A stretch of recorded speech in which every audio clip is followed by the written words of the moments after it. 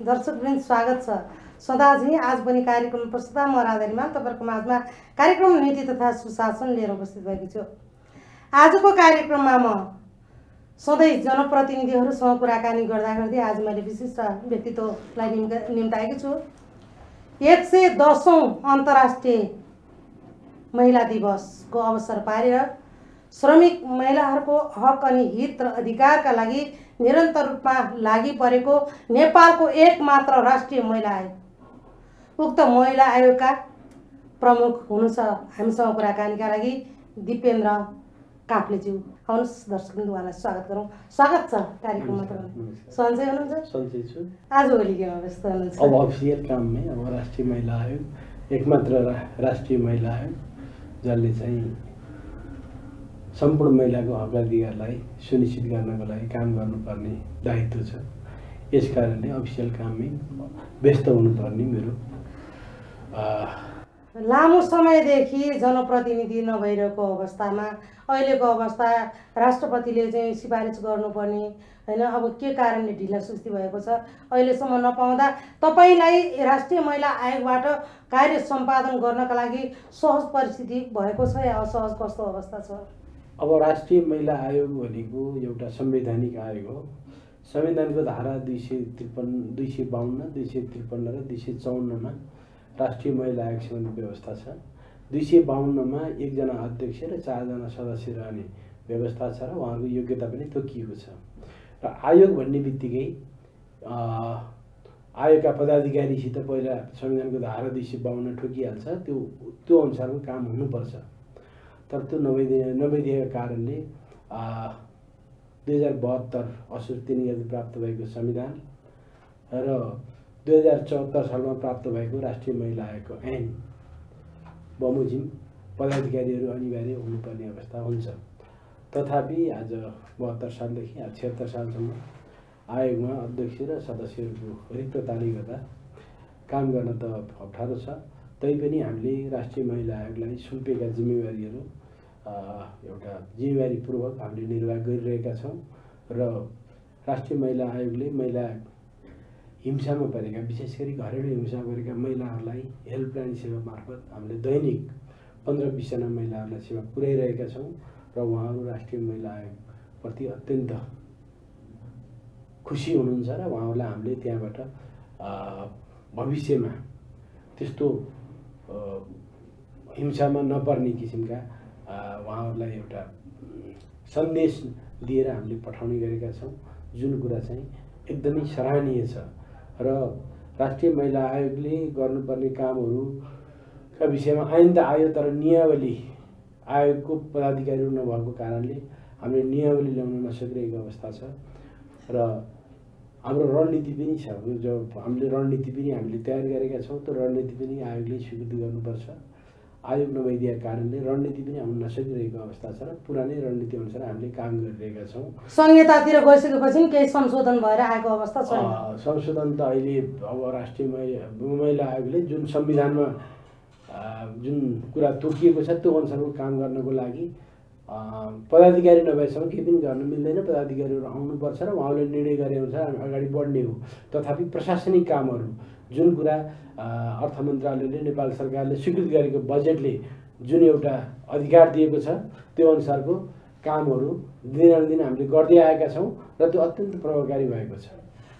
एक सय दसौँ अन्तर्राष्ट्रिय नारी दिवस मनाइरहँदा यति बेला भने यो महिलाहरूले यसरी कहिलेबाट यो नारी दिवस मनाउनु सुरु भयो? समानताको पुस्ता अन्त्य गरौँ हिंसा विभेद र असमानता अहिलेको यो नेपालको नारा हो यो। नेपालको नारा हो। र यो चाहिँ अन्त्य गरौँ हिंसा विभेद र यो यो समानताको पुस्ता। अन्त्य गरौँ हिंसा विभेद र असमानता। अहिले नेपालले अन्तर्राष्ट्रिय एक सय दसौँ अन्तर्राष्ट्रिय श्रमिक महिला दिवस भनेर मनाउँदैछ। यसको नारा हो यो। र यो नेपालमा उन्नाइस सय पचहत्तर सालदेखि यो अन्तर्राष्ट्रिय नारी दिवस मनाउँदै आइरहेको छ र विक्रम सम्बन्ध उन्नाइस सय पचहत्तरदेखि अहिले अ, सम्म यो लगातार मनाइँदै आइरहेको अवस्था छ। सन् उन्नाइस सय पचहत्तर सालदेखि अहिलेसम्म अहिले सन् दुई हजार दुई हजार बिस भयो अहिलेसम्म यो निरन्तर मनाउँदै आइरहेको अवस्था छ र यो अन्तर्राष्ट्रिय नारी दिवसको दिन महिलाहरूले जुन किसिमबाट स्वतन्त्रता पाउनुपर्ने आफ्ना हक अधिकारहरू सुनिश्चित गर्नुपर्ने आवाजहरू सबैतिरबाट बुलन्द भएर आउने गरेको छ। त्यसै कारणले अहिले नेपालमा पहिलाको अवस्थाभन्दा नारीहरूको अवस्था अत्यन्त सुदृढ रूपले अगाडि बढिरहेको पाउँछौँ हामीले। मातृ मृत्युदर घटेको अवस्था छ बाल मृत्युदर घटेको अवस्था छ शिक्षामा पनि महिलाहरूको लगभग सत्तरदेखि अस्सी प्रतिशत शिक्षामा पहुँच महिलाहरू हुनुहुन्छ। त्यस कारणले अहिलेको अवस्थामा महिलाहरूको अवस्था एकदमै मजबुत हुँदै गइरहेको छ। तथापि महिला हिंसाका घटनाहरू महिला हिंसाका घटनाहरू चाहिँ बढिरहेका पाउँछौँ। यो दिन हामीले ती हिंसाहरू कसरी घटाउने कसरी राज्यले के कारणले यो बढ्दैछ? दिनदिन चाहिँ तपाईँको हिजोभन्दा आज चौगुना बढिरहेको छ। कारण के होला यसको? यसको मुख्य कारण त एक किसिमबाट महिलाहरू एकल रूपले रहने जुन एउटा परिपाटी नेपालमा आयो जुन एउटा पुरुष अन्तर्राष्ट्रिय व्यापारमा जाने अन्तर्राष्ट्रिय श्रमिक भएर जाने र महिलाहरू एकल रूपले बस्ने अवस्थाले पनि त्यस्तो किसिमका घटनाहरू विकृतिहरू आयो र अहिलेको सामाजिक सञ्जालले पनि यो विकृतिहरू केही ल्याएको हामीले पाएका छौँ र वास्तवमा यो यसरी आउनुको मुख्य कारण मान्छे बेरोजगार भएर पनि हो। आर्थिक समुन्नत नहुन नसकेर जो जसको गोजीमा पैसा छैन त्यस किसिमबाट अनेक किसिमका कुराहरू आउने रहेछ र यो किसिमको अवस्था आएको हामीले पाएका छौँ। आर्थिक समुन्नत नहुनु पनि एउटा कारण गरिबी पनि एउटा कारण हो। यसै कारणले गर्दाखेरि यी कुराहरूलाई अन्त्य गर्नको लागि देशभित्रै रोजगारको अवस्था र देशभित्रै बाहिर पलायन हुन नदिने किसिमको अवस्थाहरू सरकारले ल्याउनुपर्छ उद्योग धन्दाहरू खोलिदिनुपर्छ उनीहरूलाई रोजगार अवसर दिनुपर्छ कृषिमा फर्को मार्नुपर्छ किनभने हाम्रो कृषि प्रधान देश हो। नेपालमा प्रशस्त उत्पा उत्पादन हुने अवसरहरू छ। अहिले केही कुराहरू धेरै कृषिमा धेरै विकास भएको पाउँछौँ अहिले। धेरै पुरुषहरू यहाँको भनाइअनुसार यहाँले अघि वैदेशिक रोजगारका कुराहरू गर्नुभयो? पुरुषहरू विदेशमा जाने कमाएर ल्याउने महिलाहरू चाहिँ घरमा बसेर एक्लै बस्ने अनि काम चाहिँ खेतीबालीको नगर्ने एकल अवस्था हुँदाखेरि के हुँदो रहेछ भने त्यो किसिमको वातावरण सिर्जना हुँदैन एउटा हिंसाको रूपमा चाहिँ परिणत हुने किसिमको पनि अवस्था हुँदो रहेछ। एउटा कुरा त्यो छ भने यही नै श्रीमान र श्रीमतीको बिचमा आपसमा कलह हुने। आपसमा कलह हुने। हरेक कुराहरू श्रीमानले श्रीमतीलाई शङ्का गर्ने श्रीमानले श्रीमतीलाई शङ्का गर्ने। अहिले हाम्रो महिला आयोगमा धेरै जसो श्रीमान श्रीमतीकै आपसमा मनोमालिन्यता भएको झगडा भएको केसहरू आउने गरेको छ। किनभने उहाँहरूको बिचमा एउटा विश्वासै नहुने। विश्वास नगर्ने अनि त्यसपछि दोष मात्रै लाउने जुन किसिमको अवस्थाले गर्दाखेरि यो हिंसाको रूप बढेको हो। अब यसलाई चाहिँ कम गर्नको लागि जनमानसमा अहिले अब यो राजनीतिक स्तरमा सङ्घीयता गइसकेको अवस्था छ र प्रत्येक वडामा हाम्रा निर्वाचित पदाधिकारी महिला पनि हुनुहुन्छ र सबै ठाउँमा अब समाचार माध्यमहरू नपुगेको पनि छैन र हामीले पनि त्यही किसिमबाट चाहिँ महिलाहरूलाई सुसूचित गर्ने कामहरू गरिरहेका छौँ। अब अब यी सबै कुराहरू चाहिँ महिलाको काममा पुग्नुपर्छ र भोलि उहाँहरू चाहिँ अब यो अवस्थामा हामी जानु हुँदैन र एक किसिमबाट चाहिँ यो हिंसाबाट टाढा रहनुपर्छ भनेर उहाँहरू आफैले सोच्ने एउटा परिपाटीको विकास गर्नुपर्छ। तर यसको लागि सरकारले रोजगारीको अवसर उहाँहरूलाई यहाँ काम गर्ने अवसर इन्गेज हुने अवस्था चाहिँ यहाँको यहाँको भनाइअनुसार महिलाहरू व्यस्त नभएर समयमा चाहिँ फ्री समयले भएका छन्। त्यही भएर चाहिँ सामाजिक त्यो पनि एउटा कारण कारणमध्ये त्यो पनि एउटा हो। फ्रिनेस पनि एउटा कारण हुनसक्छ कि यो हिंसाको कारण फ्रिनेस पनि एउटा कारण हुनसक्छ।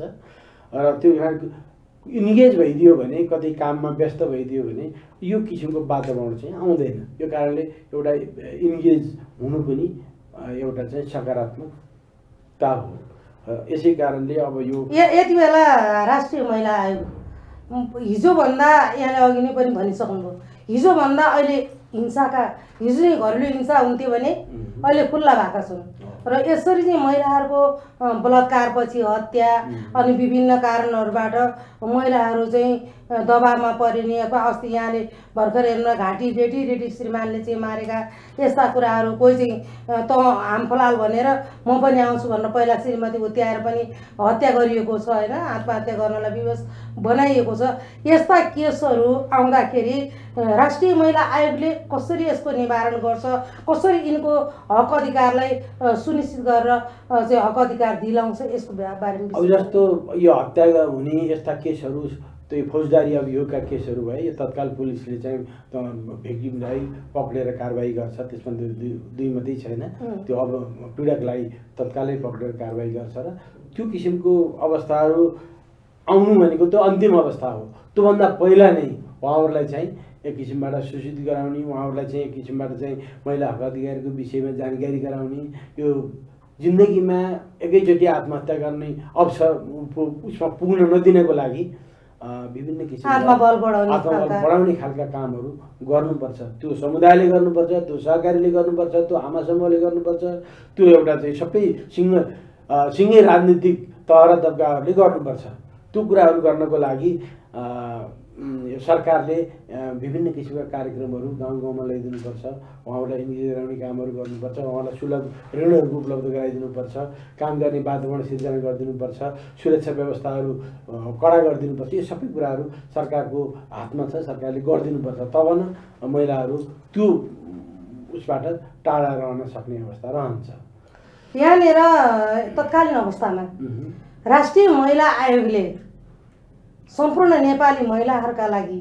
के गर्दैछ राष्ट्रिय महिला आयोगले सम्पूर्ण नेपाली महिलाहरूको लागि उहाँहरूको समस्यालाई मध्यनजर राखेर उहाँहरूको घर दैलोमा गएर हामीले यी राष्ट्रिय स्तरका यी कानुनहरूका विषयमा उहाँहरूलाई जानकारी गराउँछौँ अहिले सुलभ ऋण कसरी प्रदान गरिरहेको छ सरकारले त्यो विषयमा यहाँनिर मैले अलिकति जोड्न गराउँछु। चाहिहालेँ हुँ। कानुनी रूपमा दुई हजार छयत्तर के दुई हजार चौहत्तरको। कानुनले निश्चित रूपमा महिलाका अधिकार हक र अधिकार बारेमा संशोधन गरेका विधेयकहरू कतिपयलाई जानकारी नै छैन। यो कारणले मैले पाउने त केही पनि छैन। मलाई केही पनि छैन अधिकार। यो कारण यस कारणले पनि मैले आत्महत्या गर्नुपर्छ अथवा भनौँ मैले मर्नुपर्छ भन्ने अथवा निराश हुने खालका महिलाहरू पनि प्रशस्तै हुनुहुन्छ। यसको विषयमा अझ कानुन होइन कानुनी रूपमा त दुई हजार चौहत्तर जुन संहिता आएको छ फौजदारी संहिता र देवानी संहिता आएको छ त्यसमा महिलाका हक हक अधिकारहरू एकदम सुनिश्चित गरेको छ। र त्यो त्यो चाहिँ अहिले सम्पूर्ण गा गाउँपालिकाहरूमा पनि त्यो एउटा संहिताहरू पुगेको अवस्था छ र त्यहाँ पनि त्यो किसिमबाट सम्बन्धित कानुन व्यवसायहरूले प्रशिक्षण दिइरहेको अवस्था छ। महिलाहरूले यदि त्यो जान्नु भएको छैन भने हामीले एफएमबाट पनि हामीले त्यो किसिमको प्रशिक्षण के अरे मेसेजहरू दिइरहेका छौँ। त्यो अहिले हामीले करिब करिब एक सय बिसवटा एफएमबाट नै राष्ट्रिय महिला आयोगले विभिन्न जिजलहरू बनाएर यो हक अधिकार सम्बन्धी कुराहरू हामीले प्रसारण पनि गरिरहेका छौँ। त्यो पुनः काप्चामा महिलाहरूले त सुन्न पनि सक्नुहुन्छ। यस कारणले अहिले चाहिँ यो मेसेज पुगेन यो थाहा नपाएको भन्ने किसिमको मैले मान्दिनँ। उहाँहरू थाहा सबै हुनुहुन्छ। उहाँहरू जानकारी छ र नभएको अवस्थामा पनि हामीले पनि सम्बन्धित जिल्लामा गएर सम्बन्धित गाउँपालिकामा गएर नगरपालिकामा गएर हामीले त्यस किसिमको जानकारी गराउने गरेका छौँ र उहाँहरूसित सार्वजनिक सुनवाई पनि गर्छौँ हामीले। उहाँहरूले परेका समस्याहरू हामीले नै ग्रहण गर्छौँ र हामीले चाहिँ हाम्रा हाम्रा प्रचलित ऐन नियमहरू उहाँहरूलाई जानकारी गराउँछौँ र केही किसिमका कुराहरू त्यहाँ कमजोरीहरू छन् भने नेपाल सरकारलाई हाम्रो प्रतिवेदन मार्फत सुझाव पनि दिने गरेका छौँ। त्यो हाम्रो नियमित कार्यक्रम हो। त्यस कारणले सार्वजनिक सुनवाई गर्ने विद्यालयका छात्र छात्राहरूलाई महिला हिंसा विरुद्धका कुराहरू सिकाउने त्यो पनि हामीले नियमित रूपले गर्ने गरेका छौँ। त्यस्तै अब यो आमा समूह सहकारी अनि विभिन्न महिला नेत्रीहरूलाई राखेर हामीले त्यस्ता प्रशिक्षणहरू उहाँहरूलाई जानकारी जानकारीमूलक कुराहरू दिने गरेका छौँ र उहाँहरूले पेस गरेका कुराहरूलाई हामीले समस्याको रूपमा यस्तो यस्तो समस्या छ है भनेर सरकारलाई प्रतिवेदन मार्फत हामीले बुझाउने गरेका छौँ। जुन कुरा राष्ट्रिय महिलाको त्यो एउटा कर्तव्य पनि हो र त्यो दायित्व पनि हो। विगतका वर्षहरू चाहिँ यो वर्ष अब विभिन्न कारणहरू हुनुहुन्छ त्यो मध्येमा अहिले चाहिँ नोबेल कोरोना भाइरस उम्, को चाहिँ अब सत्तरीवटाभन्दा बढी राष्ट्रमा चाहिँ सङ्क्रमित यसको देखिसकेको छ। तिन हजारभन्दा बढी मानिसले ज्यान गुमाइसकेका छन्। र नेपालमा अहिले तत्कालीन अवस्थामा छैन। र यसबाट जोगिनको लागि यसबाट सुसूचित हुनको लागि पनि राष्ट्रिय महिला आयोगले केही गर्दैछ कि? अथवा यस्ता रोग लागिसकेपछि यसको उपचार लगायत अन्य परेका समस्यामा पनि राष्ट्रिय महिला आयोगले त्यस्ता विपन्न वर्गहरूलाई केही हेर्छ केही गर्छ? अब यो एउटा अन्तर्राष्ट्रिय एउटा यो रोग यो हाम्रा कोरोना भाइरस अहिले करिब करिब असी देशहरूमा फैलिसकेको हामीले समाचारमा सुन्न पाउँछौँ। वास्तवमा यो एकदमै भयावह अवस्था हो। र हाम्रो राष्ट्रिय महिलाको स्थापना दिवस थियो हेल्पलाइन सेवा दिवस थियो। हामीले त्यो पनि अहिले गर्न सकेनौँ। क्यान्सल क्यान्सल बनाउन हामीलाई अनुमति भएन र हामीले क्यान्सल गरियो। आजको नारी दिवसमा पनि हाम्रो चाहिँ नारा जुलुस थियो। आज त्यो पनि गर्न हामीले रोक्यौँ। यस कारणले कि महिलाहरूलाई हाम्रा महिलाहरू जो चाहिँ एकै ठाउँ धेरै भेला भएर बस्नु हुँदैन जुन एउटा चाहिँ स्वास्थ्य कर्मीहरूले सिँगै सरकारले एउटा म्यासेज छ सम्प्रेषण गरेको छ। त्यो सम्प्रेषणलाई मध्यनजर राखेर महिला दिदी बहिनीहरूलाई पनि हामीले सबै ठाउँमा सबै ठाउँमा हामीले चाहिँ यो बेलामा घरबाट अब आवश्यक काम नगरी बाहिर ननिस्कनु र ठुलो भेलामा चाहिँ जम्मा नहुनु र precaution is better than cure भने जस्तो पहिला नै हामी सतर्क रहेर आफू बचियो भने भोलि चाहिँ यो नेपालमा त्यस्तो भयावह स्थिति नआओस्। अहिलेसम्म एकजना पनि त्यो रोगबाट यहाँ मर्नु परेको अवस्था देखिँदैन र त्यो भोलि पनि नआओस्। त्यो एउटा संसदमा पनि हिजो एउटा सङ्कल्प प्रस्ताव पारित भइसकेको अवस्था छ र सम्पूर्ण राज्य व्यवस्था चाहे सत्तारूढ दल होस् चाहे प्रतिपक्षी दल होस् सम्पूर्ण एक भएर लागिरहेको अवस्थामा राष्ट्रिय महिला पनि हामी होस्टेमा हैँसी गर्नको लागि हामी पनि त्यही किसिमबाट लागिरहेका छौँ। हाम्रा दिदीबहिनीहरू त्यस्तो भयावह रोगबाट अकालमा नमरुन् भनेर हामी पनि प्रण गरिरहेका छौँ र हाम्रो त म्यासेज जाने हो। म्यासेज उहाँलाई जानकारी गराउँछौँ। हाम्रा वेबसाइट मार्फत जानकारी गराउँछौँ। हाम्रा फोन मार्फत जानकारी गराउँछौँ। हाम्रो चाहिँ फेसबुक पनि छ। त्यसबाट पनि हामीले जानकारी गराउने गरेका छौँ। यस कारणले पनि राष्ट्रिय महिला आयोग यो रोग यो यो अवस्थादेखि चिन्तित छ। चिन्तित छ र यो चिन्तित अवस्था छ। यो यो चाहिँ निकट भविष्यमा छिट्टै निरूपण भएर हाम्रा कार्यक्रमहरू अहिले लानै पाइएको छैन हामीले। धेरै ठाउँमा हामी कार्यक्रम। लिएर जाने थियौँ। अब अहिलेको अवस्था के भयो भने कति कार्यक्रम लिएर जान पनि डर भइरहेछ। किनभने यो अवस्था त अब सिङ्गै राष्ट्र नै एउटा अहिले एउटा चाहिँ कोरोना भाइरसको विरुद्ध लागिरहेको अवस्थामा हामीले चाहिँ यो बेलामा कहीँ जानु हुँदैन। धेरै भेला भएर बोल्न पनि नहुने अवस्था भएको कारणले अहिले हामी कार्यक्रम पनि स्थगित गरिरहेको अवस्था छ र राष्ट्रिय महिला आयोग यो केही नहोस् भन्ने उसमा लागिरहेको छ र यो अवस्थालाई मध्यनजर राखेर हामी कार्यक्रमको अन्ततिर आइपुगेका छौँ। यति बेला भने स्वदेश र विदेशका धेरै कुराहरू सुनेर धेरै होहल्लामा लागेर मानिसहरू विशेष गरी महिला नै हो बढी खाद्यान्न भित्रौटी भण्डार गर्ने पकाउनु उनीहरूले पर्छ। धेरै मात्रामा खाद्यान्नका सामग्रीहरू लगायत अति आवश्यक कुराहरूको चाहिँ जोगाड गर्ने र महिनौँ महिनौ दिनसम्मलाई स्टोर गर्ने एउटा चाहिँ लहर फैलिएको छ यसमा तपाईँको के छ भने एउटा महिला हकितमा लागेको र राष्ट्रिय महिला आयोगले यसलाई कसरी हेरेको छ? अब यो आपूर्ति गर्ने अथवा यो बजारहरूको व्यवस्थालाई परिचालन गर्ने दायित्व त नेपाल सरकारको हो र यसमा चाहिँ उहाँहरू पनि यही किसिमका विज्ञ विज्ञप्तिहरू जारी गरिराख्नु भएको छ। धेरै सञ्चय गरेर राख्नुपर्ने अवस्था छैन।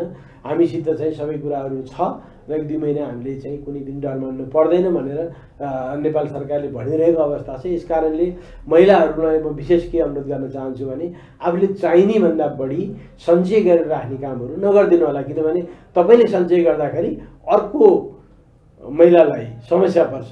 एउटा महिलाले सञ्चय गरेर राखिदिनु भयो भने अर्को महिलालाई असर पर्छ। यस कारणले सबैले समान समान रूपले खाने बस्ने व्यवस्था यो यो भयावह अवस्थामा यो सङ्क्रमणकालीन अवस्थै भन्छु मैले वास्तवमा यो यो एउटा कोरोना भाइरसको सङ्क्रमण भएको अवस्थामा हामीहरू चाहिँ सबै मिलेर बस्ने उसको लागि यसरी चाहिँ खाद्यान्न वस्तुहरू सिन्चित गरेर नराखिदिनु होला भन्ने म राष्ट्रिय महिला आयोगको तर्फबाट आदरणीय दिदीबहिनीहरूलाई हार्दिक अनुरोध गर्न चाहन्छु।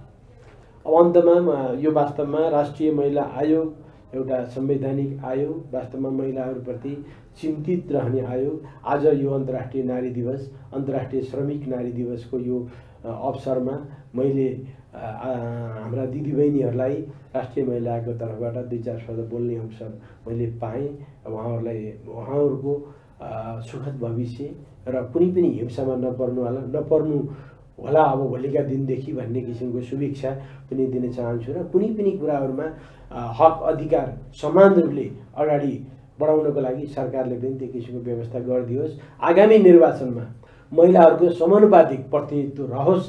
राष्ट्रिय स्तरमा जबसम्म महिला विकासको मूलधारमा आउनुहुन्न महिला विकासको मूलधारमा आउनुहुन्न तबसम्म देश विकास हुँदैन। भनेर राष्ट्रिय महिला आयोगले जहिले पनि भन्ने गरेको छ। हाम्रो मूल नारै त्यही छ।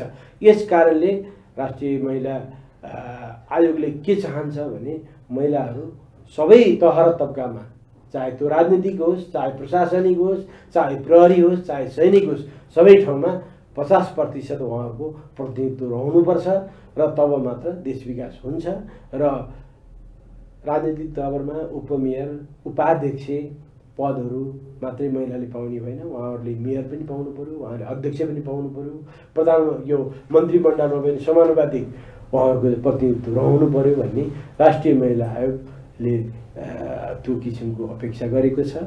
र आज जुन किसिमबाट यो मेगा टेलिभिजनले मलाई यो राष्ट्रिय महिला श्रमिक दिवसको उपलक्ष्यमा दुई शब्द बोल्ने जुन अवसर दियो म मेगा टेलिभिजन र तपाईँ राजा रिमालप्रति हार्दिक आभार व्यक्त गर्न चाहन्छु। धन्यवाद। दर्शकवृन्द आज हामीले नेपालको एकमात्र महिलाहरूको हक अधिकार हितमा लागि परेको निरन्तर रूपमा लागि परेको राष्ट्रिय महिला आयोग। उक्त महिला आयोगका प्रमुख दिपेन्द्र काफ्लेज्यूसँगका कुराकानी यहाँहरूको माझमा प्रस्तुत गऱ्यौँ। हामी भयावह स्थितिमा छौँ। के होला कसो होला कस्तो होला आयो भने के होला मरिन्छ गरिन्छ तर याद राख्नुहोस्। मानिस जन्मेपछि मर्छ यो अवश्य निश्चित छ हिजो। कोही ढिलो कोही चाँडो। मर्नु त छ तर यसरी आत्तिनु मृत्युमा मृत्यु हुन्छ भनेर आत्तिनु पनि जरुरी छैन।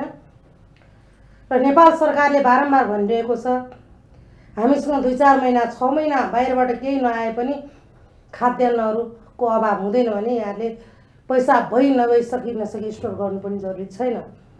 र अघिल्लो एपिसोडमा यहाँहरूलाई देखाउने छु म।